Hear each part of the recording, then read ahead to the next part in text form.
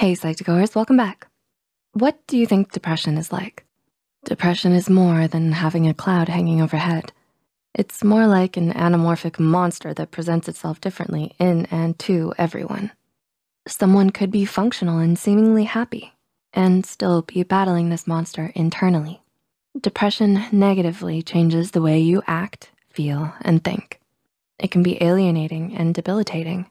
So to help you become more aware of the signs of depression, here are five signs most people with depression have. Disclaimer, this video is for informative purposes and not a rubric for self-diagnosis. Depression presents a variety of symptoms that extend beyond those discussed in this video.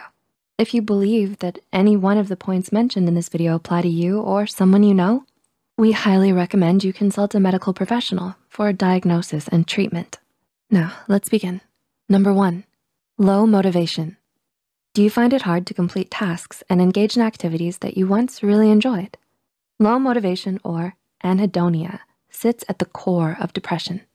When you're depressed, every little thing may feel draining to do. And it's not that you don't want to do things, but it's just too hard to get up and do it. Unfortunately, low motivation can cause you to become socially withdrawn, foster negative feelings towards yourself, and have difficulty adjusting to social situations. Number two, hopelessness or helplessness. A defining characteristic of depression is hopelessness. Hopelessness sets in when you feel stuck and you feel like you no longer see a point in doing anything. Helplessness may then accompany hopelessness and reinforce that idea that there is no point in anything by making you feel as though you are incapable of doing anything. It's like a dark room and helplessness is the locked door. Sometimes your brain can trick you into thinking that things are awful, terrible, and horrible. In these situations, you can try to challenge these distorted thoughts and argue against them. Bring up contrary evidence to what it presents.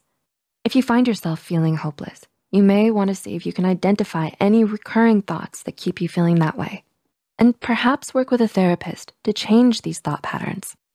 Number three, fatigue. Another common sign of depression is fatigue. Although there is provisional evidence linking fatigue, sleep hormones, and depression, most physicians see a lack of sleep as the cause of depression-related fatigue. However, other factors such as stress, diet, and antidepressants can also cause fatigue. Yoga, massages, Tai Chi, and deep breathing exercises can be great alternatives to restore sleep and improve fatigue. If you believe that your fatigue is related to lack of sleep, you may wanna try to establish a bedtime routine as it can help you unwind and signal your brain to produce more melatonin, the sleep hormone. Consult with a doctor if your fatigue persists or you have concerns. Number four, indecisiveness. Do you often find yourself having trouble with making a choice? Depression can have severe impacts on cognition. It can affect your thinking, decision-making, memory, cognitive flexibility, and executive functioning, which may make you appear indecisive or mentally clumsy.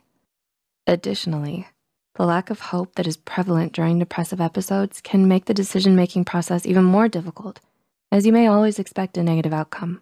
Unfortunately, antidepressants do not provide any solution for this symptom.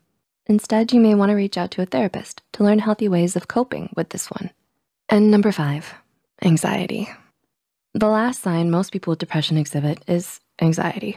Anxiety and anxiety disorders are typically comorbid with depression, but can exist on their own.